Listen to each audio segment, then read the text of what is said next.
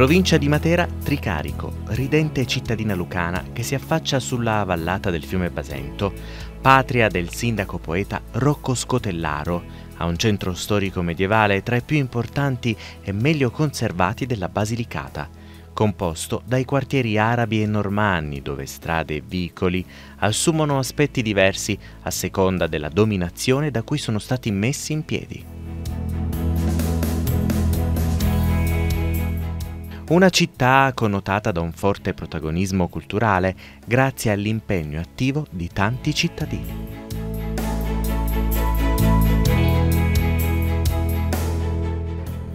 Essere sindaco di Tricarico è farsi carico di tutti i problemi della comunità, sia eh, problemi relativi al mondo economico, quindi problematiche di lavoro, eh, ma soprattutto eh, non tirarsi fuori da quello che è un problema annoso delle nostre eh, terre e nos del sud, che è il calo demografico.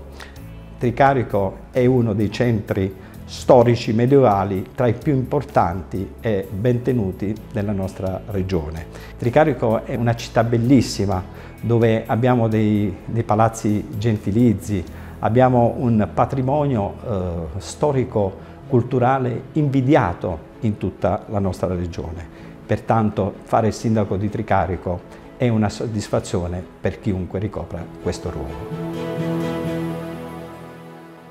Per comprendere le ragioni della permanenza nel tempo di un sito umano, a mio giudizio vanno considerate attentamente due condizioni. La prima è la geografia, la seconda l'acqua. Il caso di Tricarico dimostra pienamente questo. Tricarico è collocato quasi al centro della Basilicata, in una posizione privilegiata sullo spartiacque tra le due valli più importanti della Basilicata, importante soprattutto nella relazione tra il, lo Ionio e il Tirreno, che sono la Valle del Bradano e la Valle del Basento.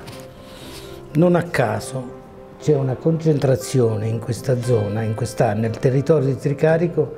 una concentrazione di, pres di presenze archeologiche che vanno dalla preistoria fino a comprendere almeno tre città di notevoli dimensioni. Quella di Civita, che è una città sopravvissuta fino al secondo secolo d.C., a circa mille metri, quella di Serra del Cedro, che ancora donde è tutto esplorato di dimensioni ancora maggiori. E c'è un incrocio quindi di popoli, c'è la presenza di arabi, saraceni, di ebrei, perché si confluisce, ma questa è la caratteristica dell'intera Basilicata, che perciò vale integralmente per il suo milione di ettari i 131 comuni, anzi la sua dimensione si percepisce in maniera più compiuta se si considerano i confini della Lucania antica. Dentro questo il sito di Tricarico poi ha la caratteristica di avere per queste ragioni una difesa naturale e una presenza costante di acqua che è rappresentata dalla conca per l'abitato dall'intera quella che si dice la conca di Sant'Antonio, nel quale episodi come i mulini sono solo un aspetto del, più generale, della più generale capacità di utilizzazione dell'acqua, nella quale probabilmente le contaminazioni che ci sono state, soprattutto quelle arabe, hanno portato le tecniche, le tecnologie che ci sono. C'è un sistema in tutta la conca molto simile a quelli dei canaz che gli arabi conoscono bene, anche se in modalità diverse, è ancora esistente, pre, presente, che alimenta di cui, di cui, episodi di manifestazioni in superficie sono la Fontana Vecchia, che, era, che dentro questo, e poi gli orti, e poi i, i mulini e le concerie, eccetera. Cioè prima di mandare un litro d'acqua al mare veniva utilizzata profondamente attraverso un sistema, per esempio, di mulini, sono ben tre, alcuni integrati poi da sorgenti locali, insomma la presenza dell'acqua ha garantito questa possibilità alla permanenza. Le vicende storiche di Tricarico sono quelle di una città che eh, si trova al confine tra il Potentino e il Materano e questo ha rappresentato molto anche nel corso della storia, soprattutto medievale. Tricarico è una città titolo che eh, le, eh, le, compete, essendo state ed essendo ancora oggi sede di diocesi, antichissima diocesi prima di rito greco ortodosso e successivamente passata al rito latino, ma anche sede eh, di una contea normanna, una delle più importanti contee titolata per secoli ai San Severino, detti appunto conti di Tricarico e successivamente principi di Bisignano. Nell'849 è la data storicamente più antica che ci parla di Tricarico, in quanto cittadella longobarda inclusa nel Gastaldato di Salerno. Successivamente viene occupata dai bizantini e diventa un vero e proprio castro, cioè un centro eh, fortificato. Eh, I bizantini eh, rafforzano sicuramente la torre ed il castello, operazione che sarà eh, proseguita anche dai normanni, che toccheranno Tricarico nel 1048. Eh, con i Normanni eh, Tricarico assume un rilievo politico e militare di grande importanza e, e i Normanni la includono intanto nel Ducato di, Calab di Puglia e Calabria e le conferiscono il titolo di contea. Ma è stato il Cinquecento, soprattutto la seconda metà del Cinquecento, il periodo d'oro di una città come Tricarico eh, e gli studi storici eh, ci inducono, ci hanno permesso di capire anche l'esistenza di alcuni circoli culturali, uno legato eh, al, ai San Severino che a Tricarico eh, facevano capo al, al, Castello del Principe, oggi denominato, eh, forse impropriamente, Palazzo Ducale. E qui eh, c'era una corte culturale ehm, sicuramente frequentata anche dalla poetessa Isabella Morra perché i documenti ce la attestano come una damigella di corte delle contesse chiese dei, eh, dei San Severino. Ma sarà il primo ventennio, se non addirittura trentennio del Seicento, che raccoglierà raccoglierà gli esiti più prestigiosi di tutto questo sviluppo della comunità tricaricese. Perché? Perché eh, a Tricarico il vescovo Roberto De Robertis stamperà la prima opera stampa della Basilicata, tutt'oggi eh, conosciuta. Quasi contemporaneamente, eh, sotto l'episcopato di Ottavio Mirto Frangipane, si stampa a Colonia, pensate, eh, la, una veduta stupenda che è un po' il simbolo di di questa nostra città, eh, perché mostra questa città rinascimentale con i suoi edifici, eh, i suoi quartieri, una immagine splendida e anche molto conosciuta ormai.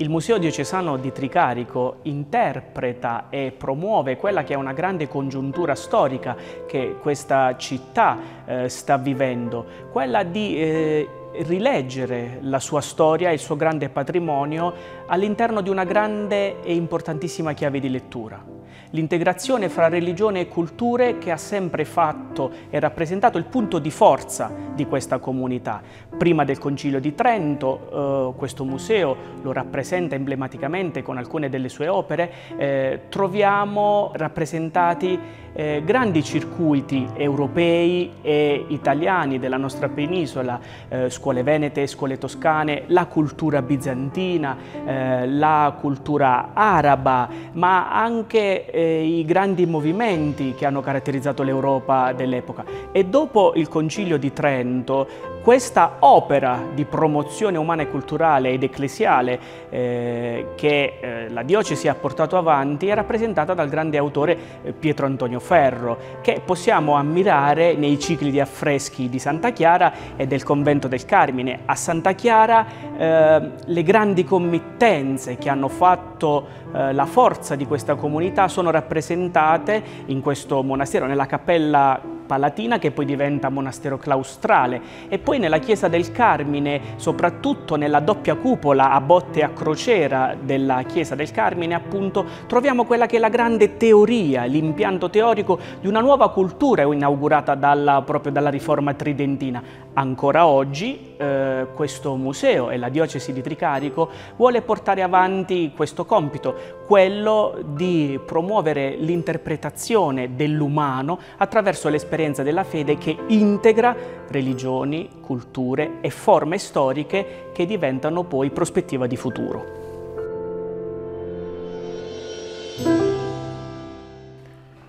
Ci troviamo in questo splendido eh, salone del, dell'Episcopio di Tricarico,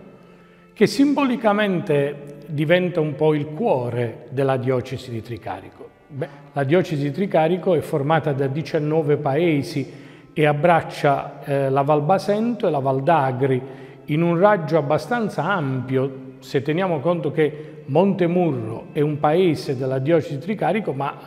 eh, dista abbastanza, quasi 130 km da Tricarico. Ecco, un territorio ampio, magari una popolazione non molto numerosa, ma una storia vitale. Noi oggi abbiamo ereditato una eh, gloriosa storia religiosa, culturale eh, dai nostri padri, una, una, una storia